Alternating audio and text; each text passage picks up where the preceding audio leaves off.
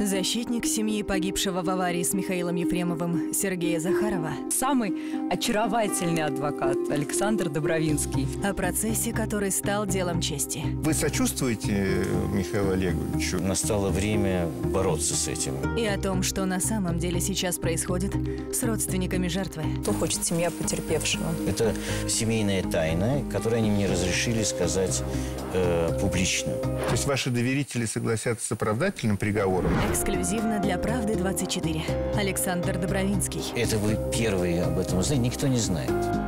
Смотрите сегодня в 18.30.